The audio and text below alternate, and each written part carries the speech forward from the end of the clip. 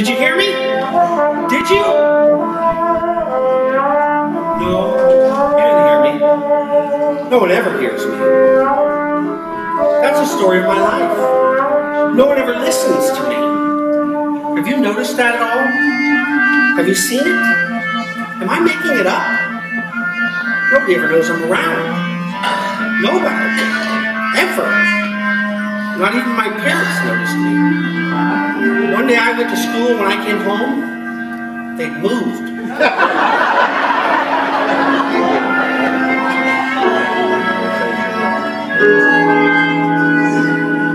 if someone stood up in a crowd and raised his voice up way out loud and waved his arm and shook his leg, you'd notice him. If someone in a movie show yelled, fire in the second row, this whole place is a powder keg, you'd notice him.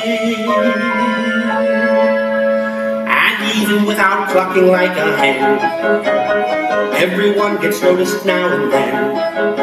Unless, of course, that person, it should be invisible, inconsequential, me.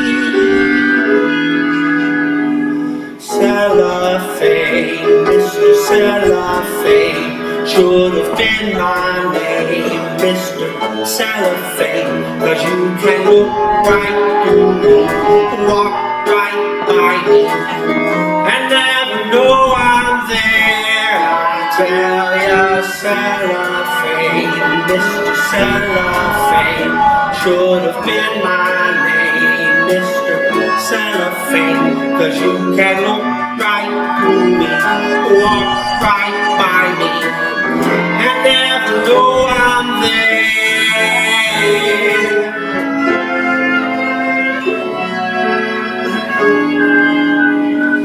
Suppose you was a little cat residing in a person's flat who fed you fish and scratched your ears. You'd notice him. Suppose you was a woman wed and sleeping in a double bed beside one man for seven years. You'd notice him. A human being's made of more than air. With all that thought, you're bound to see him there. Unless that human being next to you is unimpressive, undistinguished, you know.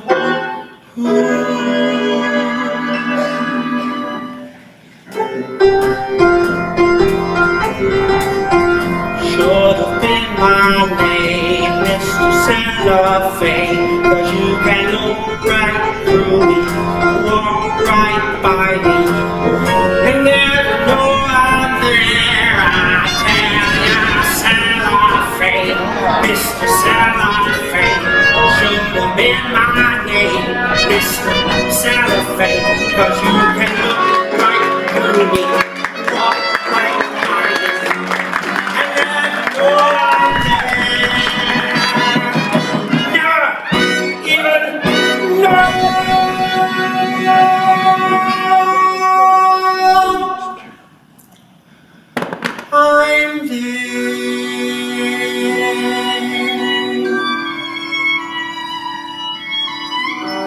I hope I didn't take up too much of your time.